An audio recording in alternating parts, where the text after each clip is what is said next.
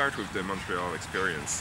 Uh, this bike path, which runs north-south, is very popular because it, you can go everywhere with that path. You can cross all the island.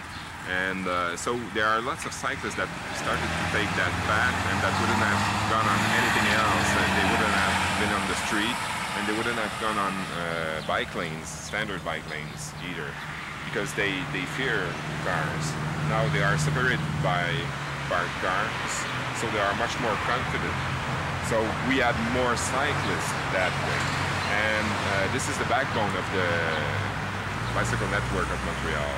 Uh, and I think it's it's how it should be seen, and it's a little bit the way they, they are doing it in many European cities. Uh, doing at least a basic network of separated facilities and on-road facilities for, for the connections. Uh, how were these put in? Were they designed into the street? Were they retrofitted? retrofitted. Yeah. Yes. So did they remove parking, or they narrowed the lanes? They narrowed the, the lane. Here. Took one lane away. Yes. No, they, it was uh, it was a one-way street. Officially with only one lane, but that was so wide it was must have been uh, 18 feet or so. uh, what about the safety? Well, overall compared to say bike lanes on the street. Uh, it's much more a question of comfort than uh, safety because uh, people don't feel secure on uh, standard bike lanes on streets because there's no separation. Uh, of course, there are some safety problems at intersections when you have uh, bidirectional bike lanes because cyclists are at a place where car drivers don't well are not aware they will be.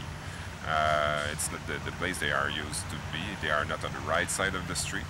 But yet if you, uh, drivers and cyclists do get accustomed, and if you manage them with uh, things like uh, taking, taking off parking so that you have a better visibility between cars and cyclists, then it's much better.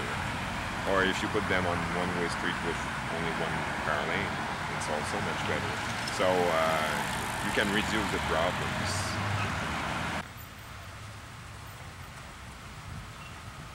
And what about the uh, the land use uh, land use issues? It, I mean, we've got all the sprawl and things happening in the states. Is it the same thing happening here? The cities are getting so spread out. Yes, it's quite the same thing. Montreal uh, metropolitan area is about three million people. Uh, I mean, the population is spread out over maybe a 50 kilometer radius, so it makes it's, it's quite huge.